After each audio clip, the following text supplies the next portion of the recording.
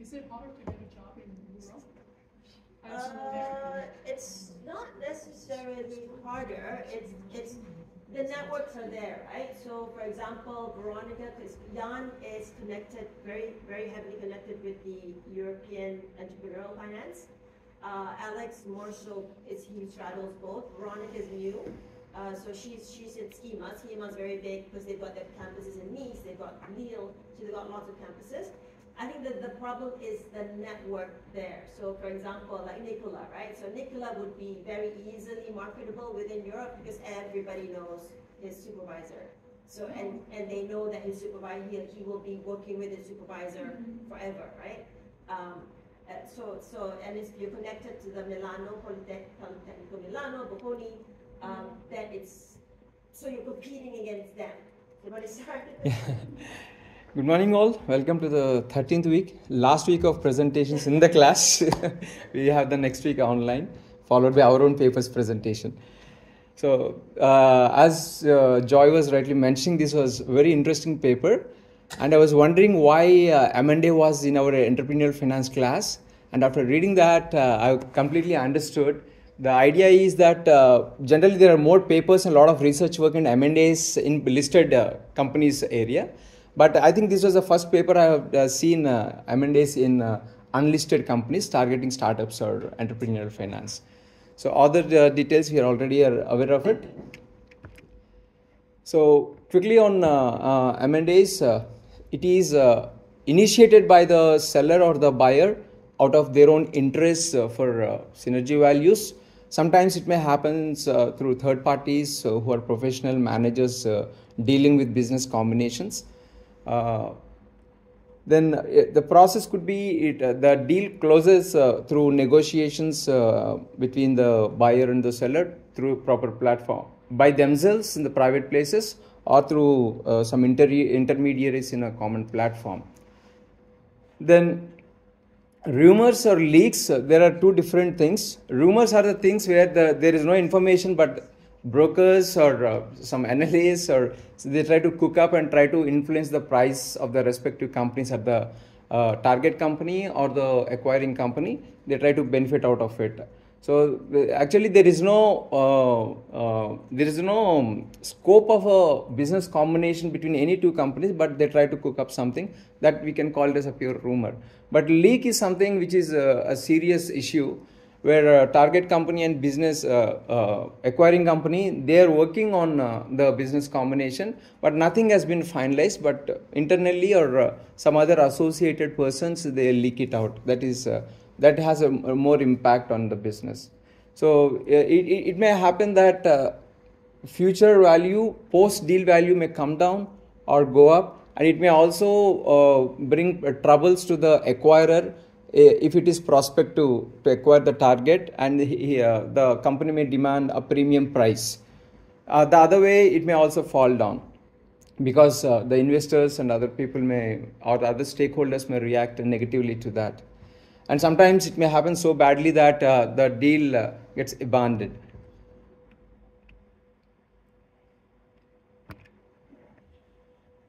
Then uh, something on uh, through this paper why information leaks usually the public listed companies have ndas uh, it's an agreement for non disclosure of the uh, of any fact or information or inputs or process related to the uh, uh, merger and acquisition deal uh, I think here I just would like to put a point. I think takeover is not considered because that is, that happens by buying and or acquiring the shares, not just the business uh, acquisition.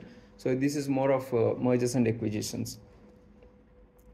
Uh, so the three major reasons why uh, leaks uh, happen in uh, during or just before the deal gets done it's a management inability or carelessness to keep it confidential or not taking care of the documents or mails or messages and uh, that could be the internal major internal reason.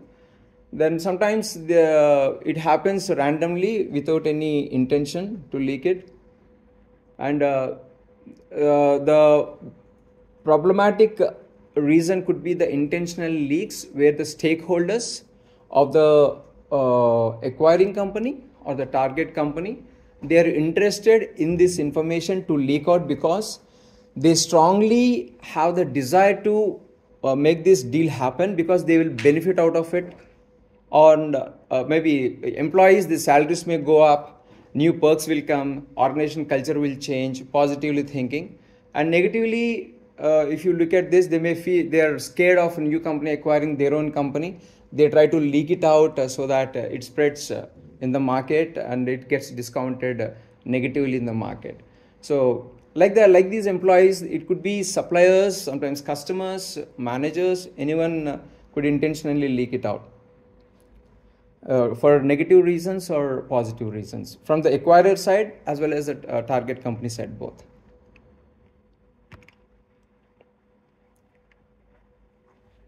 So the major outcomes of the or impact of the leaks could be that deal doesn't get done it, it doesn't happen.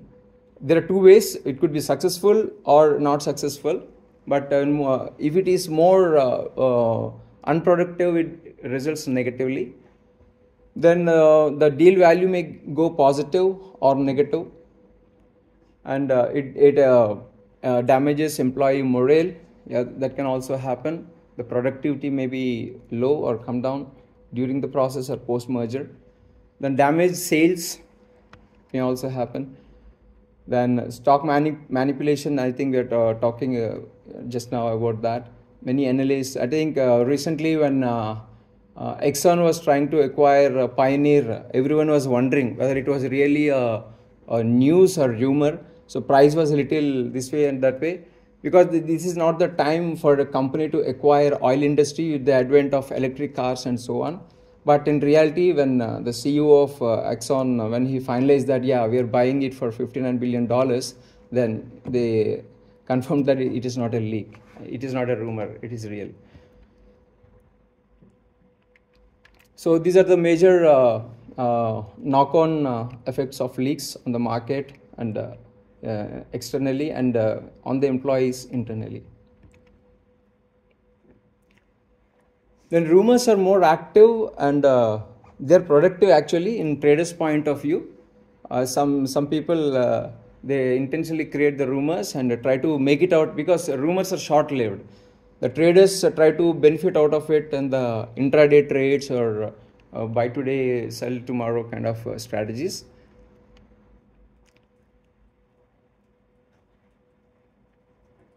then it's quite common uh, uh, publicly listed companies.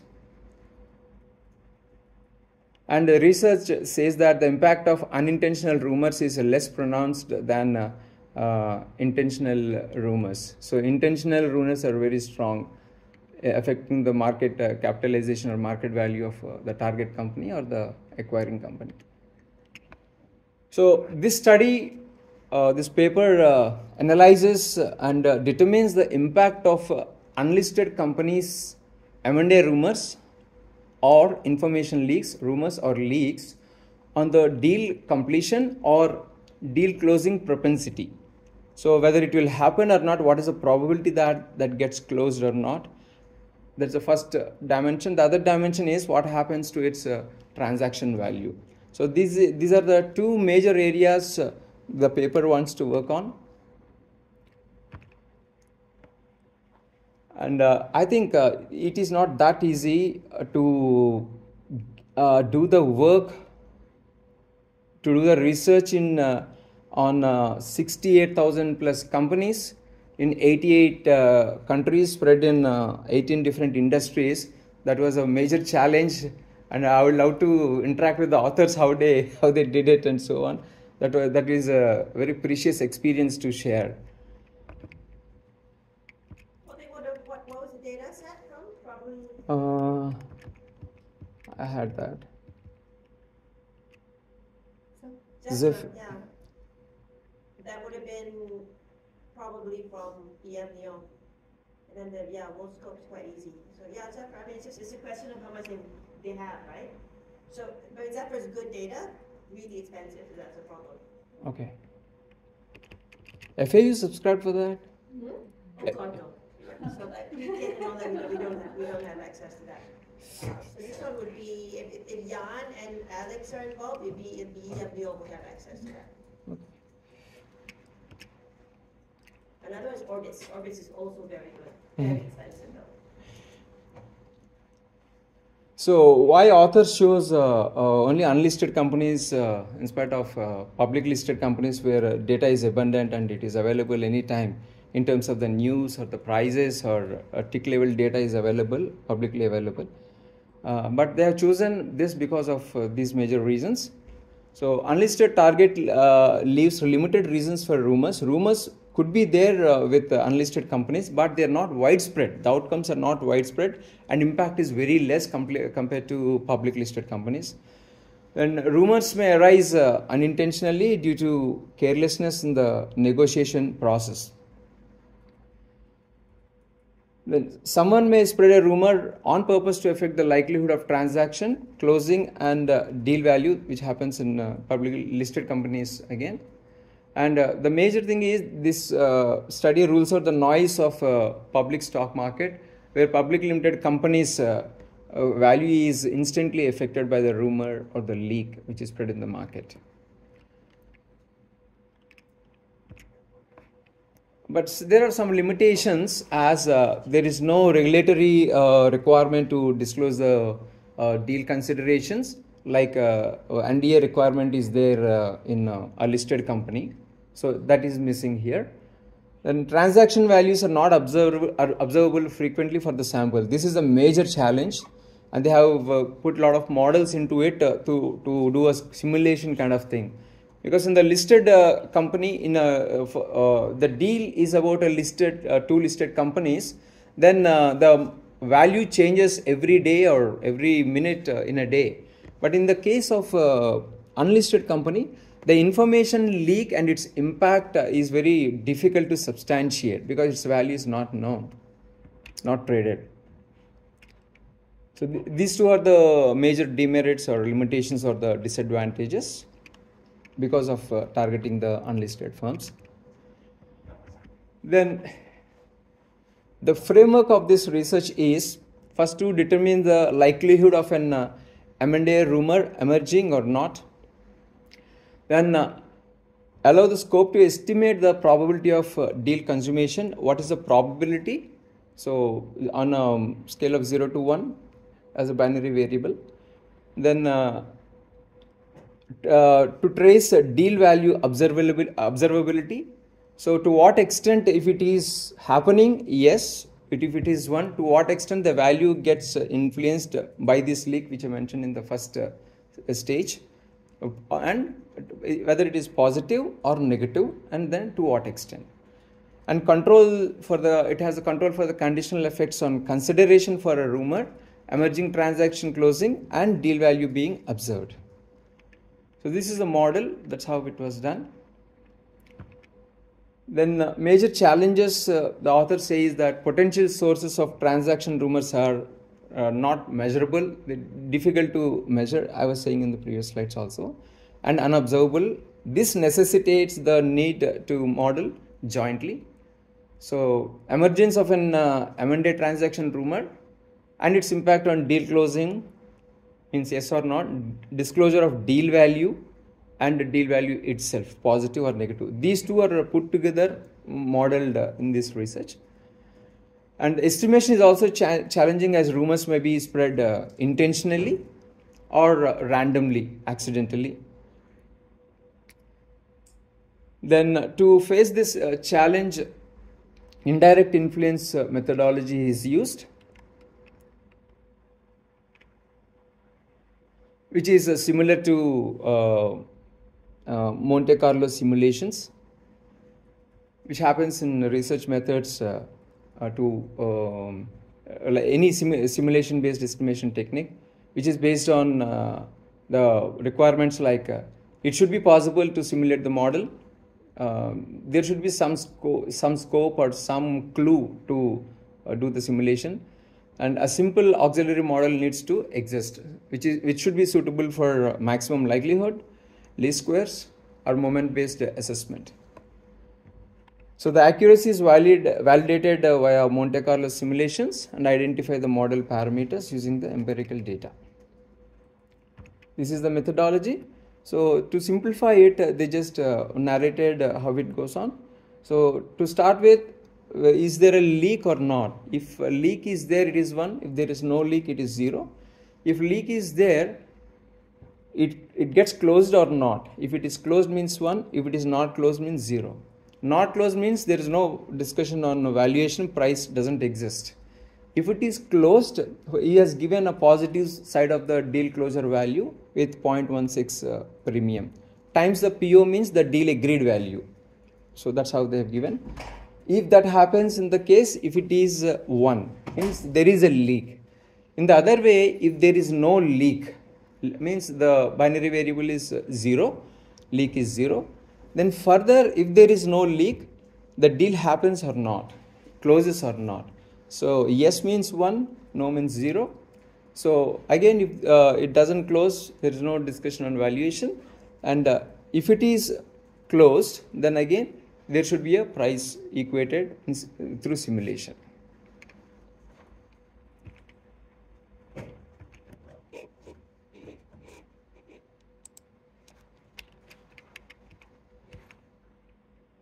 Then the, these are the data sources I was showing you earlier also. Zephyr is the major source to know more about the acquirer and target company in terms of uh, their origin, industry, origin in the sense where they belong to which country because we have spread to 88 countries. Then deals closed or not, deal enterprise value, initial equity of uh, state of the acquirer in the target. Uh, uh they, they mentioned in the variable as toehold is there any stake of the acquirer in the target company before the negotiation or the before the deal got com- completed is that a buyout or uh, kind of equity exchange or not then number of acquirers is that only one or more than one? Is that uh, the deal is rumored or not? Then uh, target company's age how old is the target company?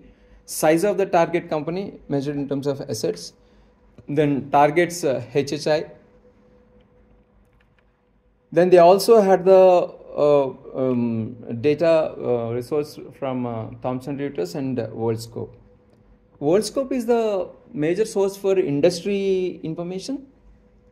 They can use it, yeah, for the HHI, they're using the index, they, yeah, they, I mean, it's not the major, I mean, it's, it's used. Okay. So it's not, not the only one, but generally for uh, the HHI index. Because in many papers, instead of CRSP or some other sources, uh, I seen uh, WorldScope when they're talking about uh, industry. Yeah. Then the variables I just listed for a little understanding. The dummy variables are uh, the closing, leak, type of the acquirer. Type of the acquirer is interesting and has a, a, a good role in this uh, study is that an individual, government, a financial acquirer, or strategic acquirer, and others uh, are also included which are not in this uh, uh, list of four. Then is that a buyout or not? Is that a local deal? Local in the sense acquirer is in the acquirer and target are in the same country. That is, that is the meaning of uh, a local deal. And same industry, both target and uh, acquirer belonging to the same industry. Then explanatory variables, uh, these are the uh, kind of regressors which affect uh, the dependent variable leak. Acquirer experience means uh, the age of uh, the acquiring company. Uh, then age, it is the age of the target company. Assets refers to size of the target company. Then HHI refers to the respective industry which acquirer and target company belongs to.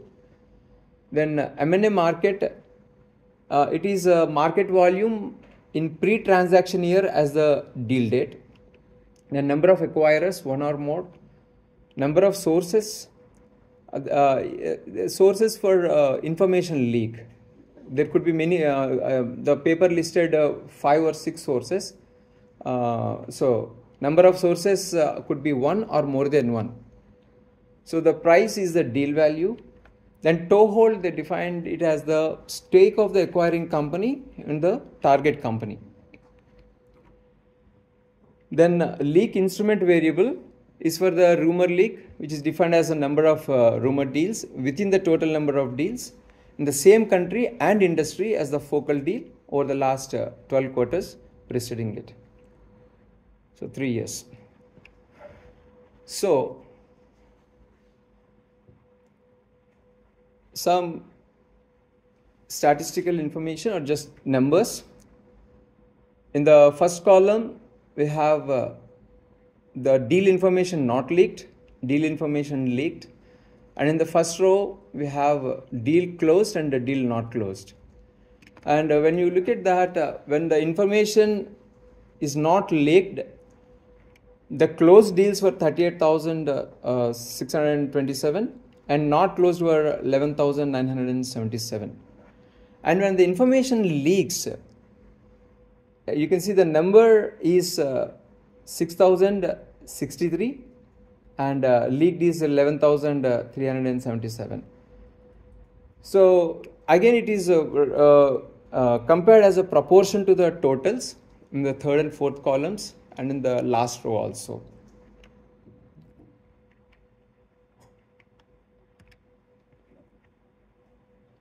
And there uh, the study presented uh, good information about the deals rumors and uh, uh, leaks for the period from 1997 to 2007 year wise and uh, first two columns are the year and number of uh, deals.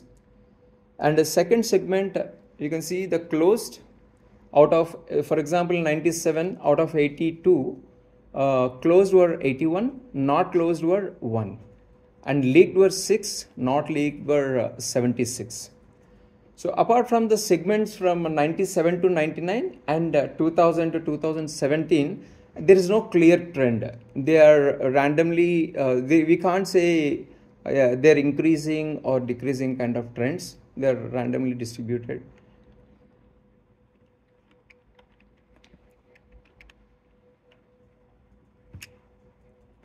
Then industry pattern, uh, again the same numbers are distributed among the industries starting from chemicals to uh, wood uh, cork and paper. But interestingly the other services uh, was huge. Uh, i think uh, i was excited what were those services were. That, that was around 19074 out of 68044 uh, so What, what, what are examples? That was not mentioned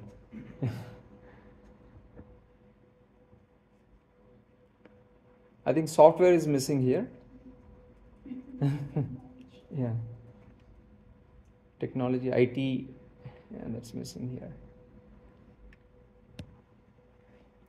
I don't know why they, I mean, it's impossible that it wouldn't have been software or IT. I don't know why they lumped it into other services. Maybe Yeah. if they separated it, it wouldn't work out. Yeah i couldn't find anywhere i I just gone through Yeah, there's a reason. Uh, It's impossible for, for industry pattern to not include IT. okay So that means what would have happened was if they separated IT from other services, maybe it, it seems it could, there could be, maybe it's, it's, uh, I think it's, it'd be overweighted, wouldn't it? Just seems like it, because it's, so maybe that's why if you take IT, so what they did is they lumped it as other services. Instead of overweighting it for one specific, then they'll raise, they'll raise other questions okay because it's it's I mean usually other is a small number. This is this is like five like this is it seems like there there must be four or five yeah high industry because if the highest tier is nine thousand, other Hmm. services is nineteen. Uh, that's a bit um, crazy. So I think they would have it must have been overweighted in one way or another because it's lumped into other. I suspect. This is this is it's uh, suspicious. Did they use some, what's the classification here? Is it Fama French or, This is the, the or they did it themselves? yeah, they did it themselves based on uh, uh, WorldScope hhi Yeah, they teach, uh, yeah, so they, so that's what I mean, right? So, so if, let's say, let's assume IT, because I mean, they say post and telecom, let's say, software or something, software would be high, yeah, but it, it worked out for them, but it's always a question of, it's impossible for other services to be so large. Yeah.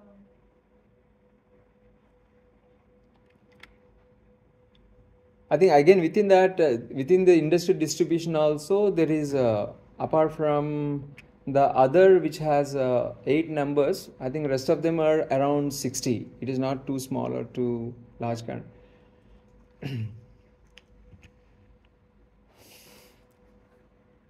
then uh, sources of leaks. Uh, this is quite interesting. Uh, it it was uh, based on the acquirer type who leaked the information uh, they have uh, categorized so when they had uh, 17440 leaks which i had been showing in the ta- previous tables also it was categorized uh, into different sources of leaks uh, based on the types of acquirer strategic acquirer financial acquirer and unspecified so i think they are in the descending order strategic acquirer had, was the source for most of the leaks, which is 9,434. More than 50% of the leaks are from uh, strategic acquirer. Quite interesting. So they they're acquiring the target company for a strategy, yet they themselves are the source of uh, the information. That is uh, one segment. Then based on the leaks by information side, uh, again they have categories of unspecified, acquirer, other, vendor, target, and none.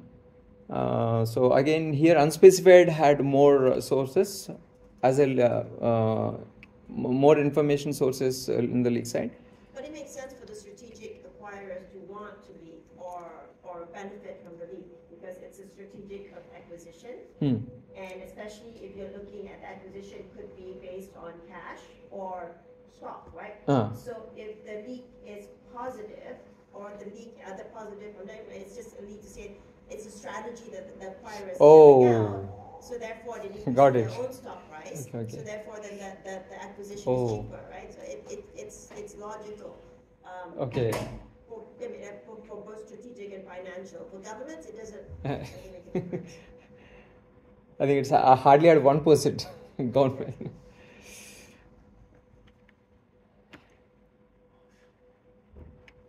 then, uh, so these are the variables. Uh, uh, like I was explaining, the in the source of data for what data they are uh, accessing uh, different data sources. So this is the list of the variables. The age, age of the target company, assets, the size of the target company, HHI, the industry, which, which they belong to, toehold the acquirer's stake in the uh, target company before the deal, the number of acquirers, one or more, acquirer experience, M&A market, leak instrument va- uh, variable, price, the deal value, and number of sources. And I, I think I already uh, listed uh, the list of uh, variables, dummy variables. Three were listed in the papers table buyout, local deal, and uh, same industry.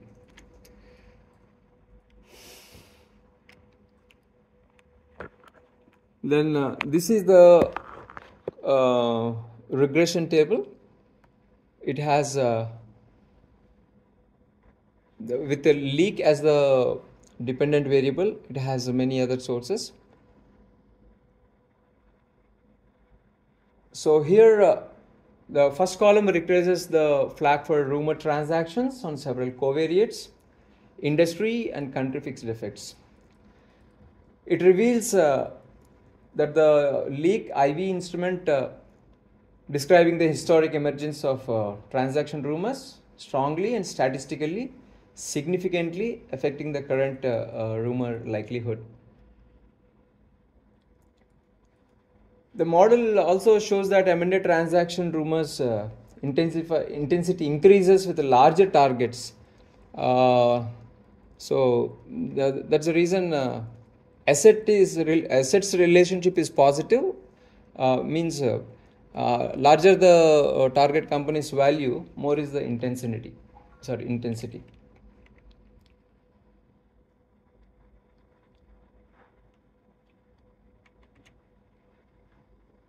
This is the same one extended with uh, the source of leak by leak by acquirer, leak by Target, leak by vendor, leak by others, and uh, leaked by unspecified.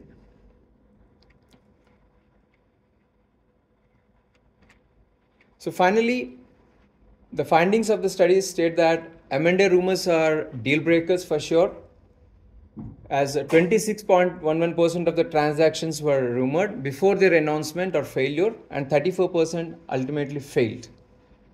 The deal didn't get closed.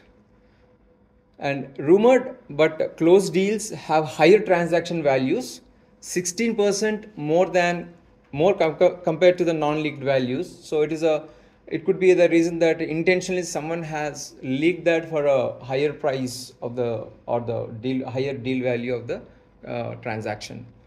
The the combined economic impact of uh, about two uh, is strongly negative. The rumors destroy about 32.42% of the transaction values. So leaks are so dangerous with the unlisted companies.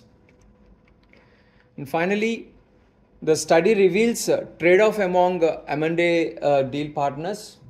So it, it is a win-win situation kind of thing. The target company wants more price, acquiring company wants to have cheaper price. So accordingly, they may have some uh, uh, plans to leak out the information kind of thing, but there will be a trade-off. So the seller leaks for a premium price at the cost of an unsuccessful deal. So that's costly. They they may trade for uh, uh, low price, this uh, sorry, uh, premium price, high price, but at the same time there is a risk that the deal may not happen. So sellers have to be careful. At the same time, buyer leaks for a low price at the cost of an unsuccessful deal. So that there should be a trade-off. Even others, uh, competitors, other stakeholders like competitors, managers, media, politicians, shareholders, stakeholders, vendors, and others for individual motives, they also have that trade-off. So politicians here, maybe in case of a public sector company, the, when the government owns uh, a company in a country, maybe their uh, politician's role is there. That's how, that's how I felt. Well, it's hard to say because it depends on what, what they determine as politicians, right? So if some guy on Congress gets a leak, I mean, does he have, have any control about government-owned entities? So as a politician, it's, it's very hard to really identify. Some countries it's, it's more centralized. Okay. So like if, if a Chinese politician says something, then then they know it's linked to a state-owned entity. But if some guy from Virginia says something like in the U.S., it eh, doesn't really matter. But one thing that it, it would have been interesting if they were able to look at the deal closure, to what extent it was how if the deal was structured. Maybe not in all countries, but let's say in the U.S., right? Let's say if you look at whether it's uh, it, it's it's a it's a swap, whether Oh. it's you know whether it's an equity swap, whether it is it is cash, whether I mean they have leverage buyouts, but leverage buyouts is very different because that just means that they are taking on debt, right? So it's not the same as the Cash or swap. yeah, so, so cash versus, versus equity, because then that would identify the motivation of the buyer and the seller, because, you know, the leak, how it affects, uh, the term structure, but they don't have the data here, but that'd be interesting to see. Okay. But yeah, so, I mean, and, and and one of the things, uh, that, uh, this, this paper is interesting, again, Zephyr data, many, many papers use Zephyr, WOCOM, so, it, the is relatively easy to get, but here I think it's the idea of the leaks versus a lot of, there's a lot of studies on analyst Okay. uh, recommendations here. It's unofficial information trickling down to the market, uh, especially, and so from an entrepreneurial perspective, that's why it's, it's, it straddles both, because it's quite unique in their approach, where they're using rumors and, and so, and there's rumors, the difference between rumors and leaks, right? But yet at the same time, in, in, a- in a perfect market, this is, this is, this, would this be priced in, or is it something that it's relatively new for us to consider? Um, and, and it's, and it's, again, interesting because you don't have the, you, you, you remove the market from the, from the issue, uh, because it's, it's, it's private companies, not publicly listed companies. Because publicly listed companies, the problem is there's the, the leaks are, where, how does it come, you know, it comes from multiple sources, analysts and all that. Mhm. Here, there's no analyst coverage, right? Thank you. Thank you.